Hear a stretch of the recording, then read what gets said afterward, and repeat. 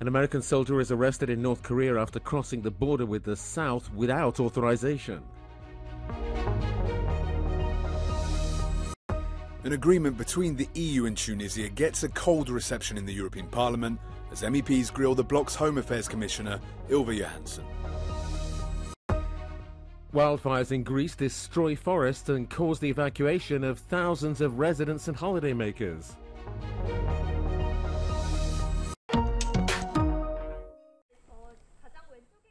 An American soldier has been arrested in North Korea after crossing the country's heavily fortified border with South Korea. The man is said to have been on a tour to the Korean border village of Panmunjom and crossed into the north without authorization. He's believed to be held in North Korean custody, and the UN command is working with North Korean officials to resolve the incident. It comes amid increased tension between North Korea and the United States, who deployed a nuclear armed submarine to South Korea on Tuesday for the first time in four decades. Allies have warned North Korea that any use of nuclear weapons in combat would result in the end of its regime. However, periodic visits by U.S. nuclear submarines to South Korea were among several agreements reached by the two countries in April in response to North Korea's expanding nuclear threat. An agreement on managing migration recently signed between the EU and Tunisia is getting a cold reception in the European Parliament after a grilling by MEPs of the bloc's Home Affairs Commissioner Ylva Johansson on Tuesday. They're questioning a political agreement with the Tunisian government which is accused of not respecting human rights, dismantling its own democracy and attacking migrants. It's very clear that the president of Tunisia is not respecting fundamental rights, um, and we don't think that the European Commission can, let's say, actually enforce that. We see a situation in Libya where actually the Libyan Coast Guard is accused of being part of a smuggling network. So we are paying the smugglers um, in Libya, and I think we have to learn out of these um, situations and not just do the same faults again. Many MEPs also criticised the fact that the deal was sealed by a political trio labelled Team Europe composed of European Commission President Ursula von der Leyen, Dutch Prime Minister Mark Rutte, and Italy's Giorgia Meloni. But who are they? It's like a resigning prime minister, right-wing nationalist Meloni, uh, uh, and and the president herself. You know, it, that's not how we should be doing. You know, these kind of important policy decisions and political decisions. Commissioner Johansson has defended the political agreement, though, arguing that cooperation with non EU countries is crucial to migration management. I do not agree uh, with the description that Tunisia is blackmailing. I think that we have a good cooperation with Tunisia, but it's also important to strengthen this cooperation and to step up the support to Tunisia. And this is the aim of this memorandum of understanding, and especially the migration uh, part of it. Very few right wing MEPs in the Parliament showed up, and none defended the agreement during the debate.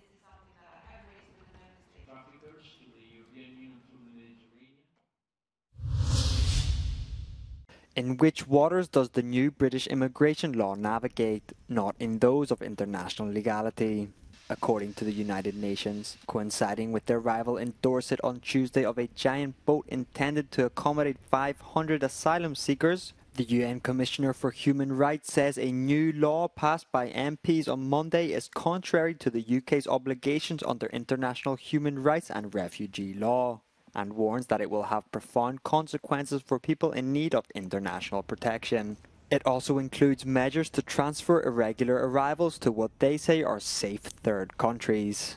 Under the legislation, anyone reaching the country illegally by boat will be refused the right to apply for asylum in the UK. Both the boat and the bill are part of Prime Minister Rishi Sunak's strategy to prevent migrants from reaching Britain in small boats across the English Channel. In 2022, more than 45,000 people made the crossing, and several lost their lives in the attempt.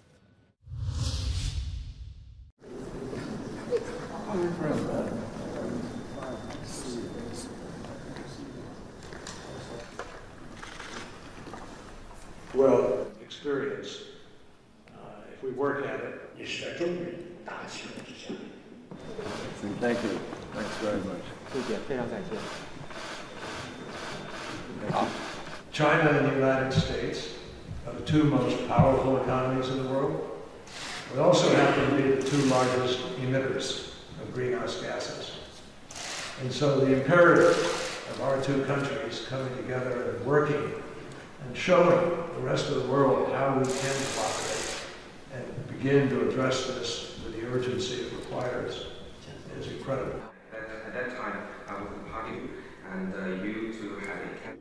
当时是疫情期间，因为是因为那个是在疫情刚开始的时候。 Rescuers searching for the missing in South Korea.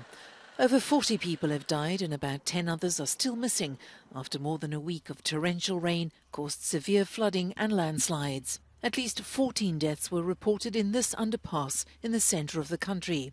Some 15 vehicles, including a bus, were in the tunnel when a nearby river burst its banks. More than 10,000 soldiers have been dispatched to support rescue works. The rainfall has forced thousands of people to evacuate and left many households without power. Wildfires outside the Greek capital Athens continued to burn through forest land early on Tuesday morning. Evacuation orders have been issued for at least six seaside communities as two major fires edged closer to summer resort towns and gusts of wind hit 70 kilometers an hour. Water dumping aircraft were deployed early on Tuesday to help dozens of ground crews and mobile units battle three wildfires in the regions of Attica, Corinth, and Viotia for a second day. The biggest blaze appeared to be in Dervenoria, about 45 kilometers northwest of Athens, but fires in the East Attica seaside resort of Saronida and outside Loutraki in Corinth were also active despite ongoing efforts to contain them. Three volunteer firefighters in Saronida were hospitalized after sustaining eye injuries, and officials say homes have been destroyed in both Saronida and Loutraki. Greater Athens and much of southern Greece were on the second highest level of alert for wildfires on Monday and Tuesday, following a four day heat wave which had eased over the weekend. Temperatures are expected to soar again later in the week. Ukraine's armed forces say there were several overnight attacks by drones. Explosions were heard in Mykolaiv and the Black Sea port of Odessa.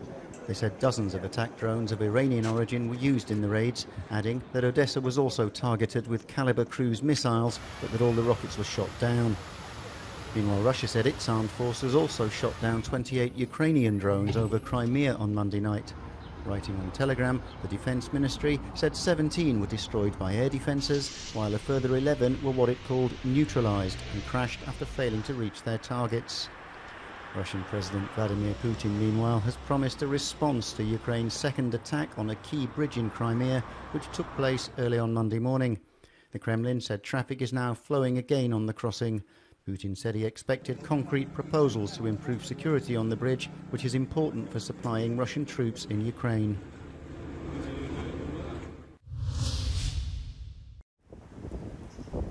More mercenaries from Russia's Wagner military group are said to have rolled into Belarus as part of the deal that ended their mutiny. Film of some Wagner members instructing Belarusian territorial defense forces was released last week, although the video hasn't been independently verified. There are reports of over 100 vehicles carrying Russian flags and Wagner insignia heading towards a field camp that Belarusian authorities have offered the company. President Alexander Lukashenko, who brokered a deal that ended last month's rebellion launched by Wagner chief Yevgeny Prigozhin, has said that his country's military could benefit from the mercenaries' combat experience.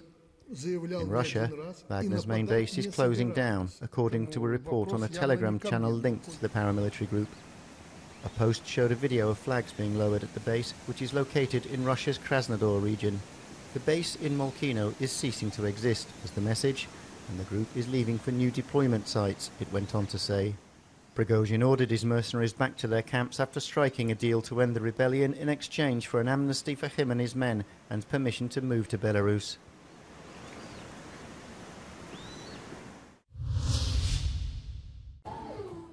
Tourism is booming in Croatia.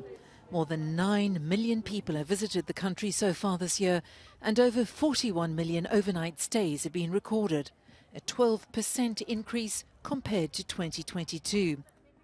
The government says this is thanks to its accession to both the Eurozone and the Schengen area on the 1st of January this year. But it may have made life a bit tougher for locals, at least initially.